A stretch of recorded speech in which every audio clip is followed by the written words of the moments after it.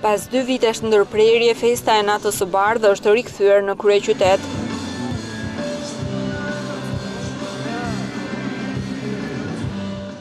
Kreu i qeverisë Edi Rama ka qenë i pari që në kuadër të kësaj nisme ka hapur dyert e kryeministrisë dhe ka pritur qytetarët të cilët janë njohur nga afër me ambientet e ekzekutivit shqiptar. Qytetarët dhe mysafirët e parë që e nderuan me praninë në Sallën e Hartave, ishin pikërisht një grup fëmijësh të moshave dhe përkatësive të ndryshme.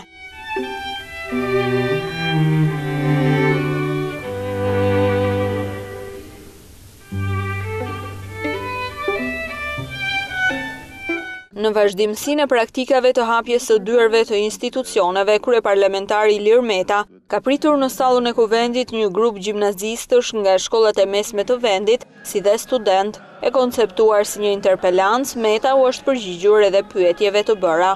Në këtë natë të bardhë, që është një natë e hapjes së institucioneve kryesore, ndaj gjithë qytetarëve që kanë dëshirë për t'i vizituar, sepse këto janë institucione të zgjedhura nga ju dhe nga gjithë qytetarët dhe, Natyrisht që duhet të jenë në funksion jo vetëm të interesave tuaja, por njëkohësisht edhe duhet të jenë sa më të hapura.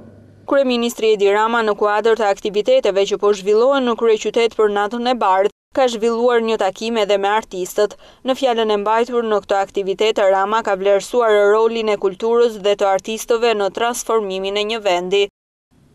Me ndërhyrje artistike, në hapësirë dhe në kohë, mund të vijnë transformime nganjëherë rrënjësore brenda një shpirti apo dhe brenda një territori të tërë. Besojnë tek magjia e kulturës apo te prallat me magji të artit.